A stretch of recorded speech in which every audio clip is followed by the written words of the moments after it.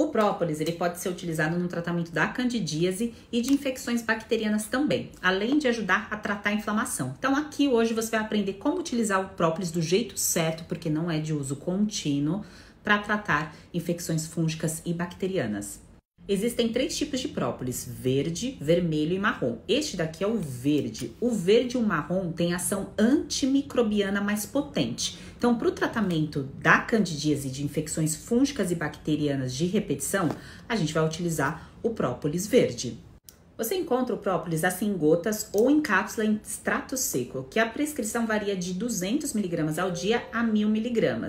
E em gotas, você toma em média de 15 a 50 gotas por dia. Isso, claro, associado com o passo a passo da terapia nutricional e com os outros ativos que são necessários para a reconstrução, para a regeneração do seu sistema digestivo.